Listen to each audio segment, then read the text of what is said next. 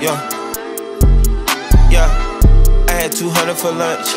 Last night I f***ed on the 24 shows in a month. Look at that time, it was crunch. Ice, diamonds is crush. Louis V, but my t-shirt is tucked.